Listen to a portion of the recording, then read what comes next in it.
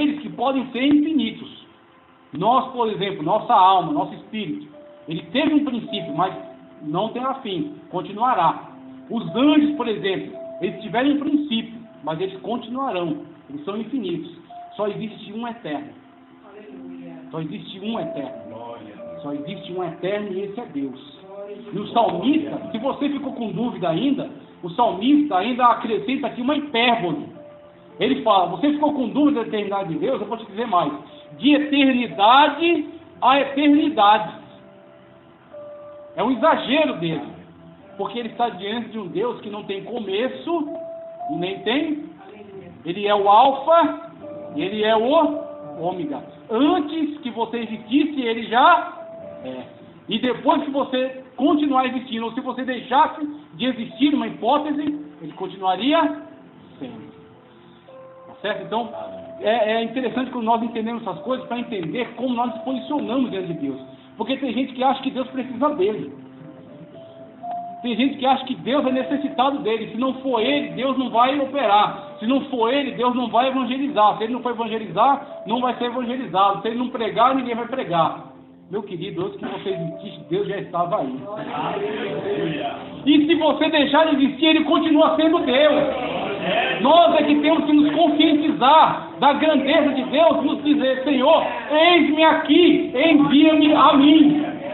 Pela tua misericórdia, pela tua graça, pela tua infinita bondade, me usa. Pela tua infinita bondade, me usa. Me permite fazer parte dos teus planos.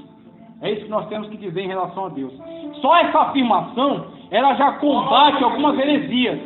Ela já combate algumas heresias. Por exemplo, o ateísmo, que diz que não existe Deus, nem existe orientação para o universo. E o ateísmo é combatido por essa palavra, porque a palavra de Deus diz que no princípio Deus criou.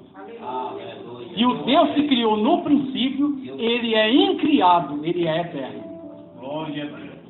Ele é eterno. Como ele mesmo se define para Moisés. Moisés disse: Senhor, qual o nome? Qual o teu nome? Quem eu vou dizer para Israel que me enviou? Deus disse: a melhor definição que eu posso te dar, Moisés, sobre mim mesmo é: Eu sou.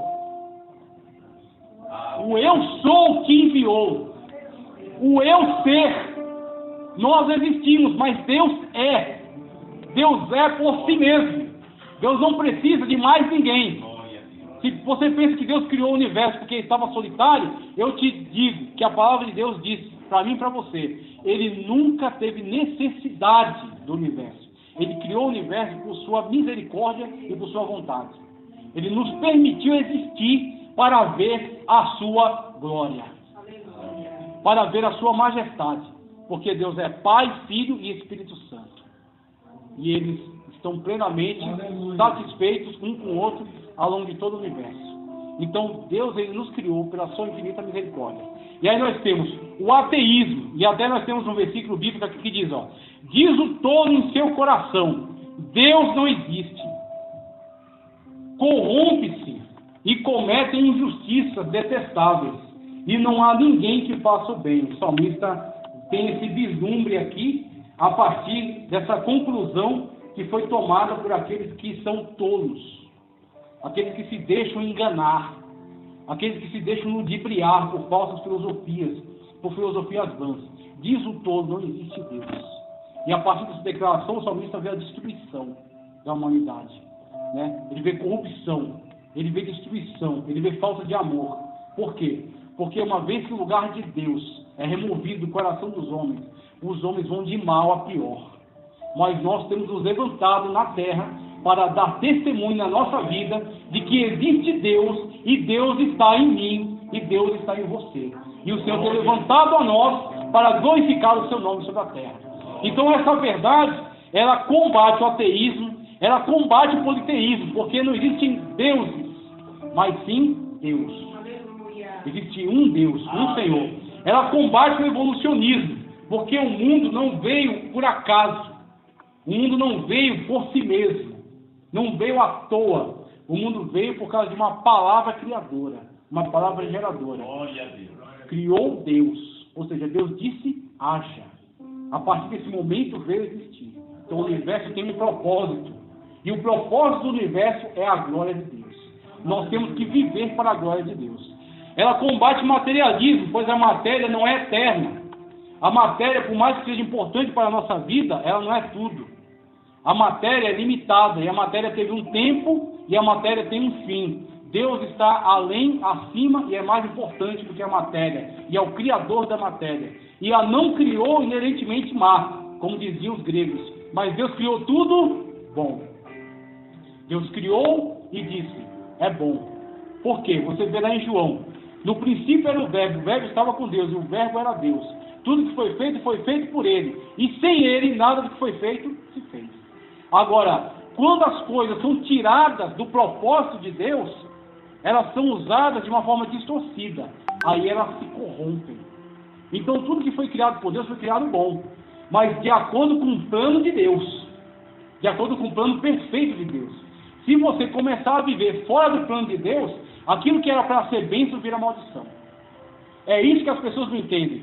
Tudo que Deus criou, criou bom, mas desde que atenda ao propósito dado por Deus. Da mesma forma o homem. Deus tem um propósito para a tua vida como Deus colocou aqui na sua palavra, que é crescer e se multiplicar, e dominar sobre a terra, e glorificar o nome de Deus. Mas quando você anda fora da vontade perfeita de Deus, aí você vai se destruir. Aí você vai se entregar aos vícios. Aí você vai entregar à prostituição. Aí você vai entregar à corrupção. Aí você sai fora do plano de Deus e aquilo que era para ser bom se torna ruim.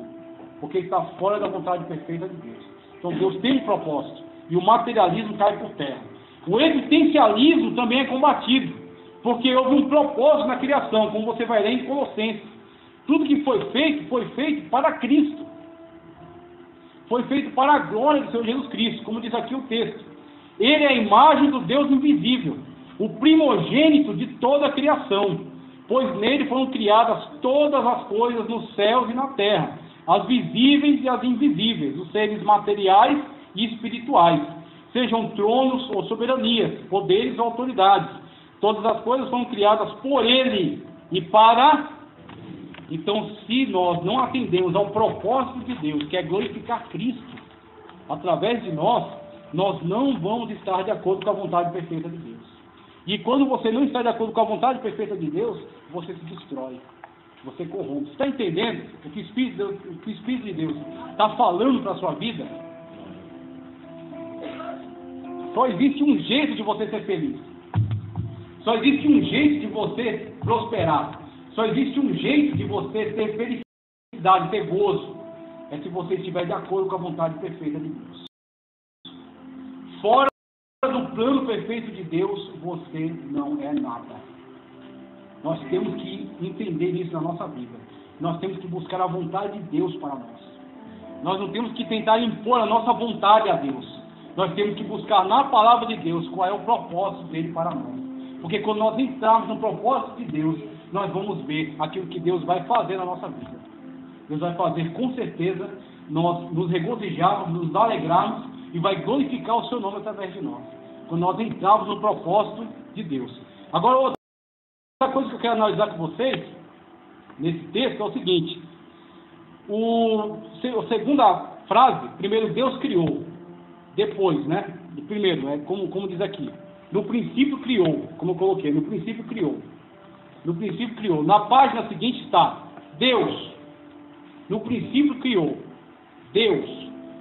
A palavra Deus que está aí, conforme o, original, é Elohim. Elohim. O termo que está aí, no original, é Elohim. E, e tem um mistério nesse Elohim, é, é a última coisa que eu vou passar para vocês. E eu vou encerrar, porque tem um estudo aí, vocês veem melhor em casa.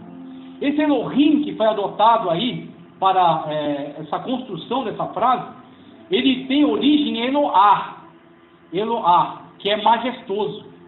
Então o teu Deus é majestoso, é glorioso. E aí, quando foi colocar, construir essa frase, o Espírito Santo de Deus inspirou Moisés a colocar Elohim, e Elohim, o final, esse M do final, ele é o plural do hebraico. Ele é o plural. Então, se nós fizéssemos, uma leitura incorreta, nós chegaríamos a uma conclusão errada de que existem deuses. E que existe mais de um Deus aqui. de que existe uma pluralidade de Deus. Só que o Espírito Santo de Deus se precaveu disso aqui, para que nós não chegássemos à conclusão incorreta. Tanto que ele fez questão de inspirar Moisés a, a escrever da seguinte maneira: Paulo, você vai dizer no princípio, tá? Aí você vai colocar, tá certo? No princípio, você vai colocar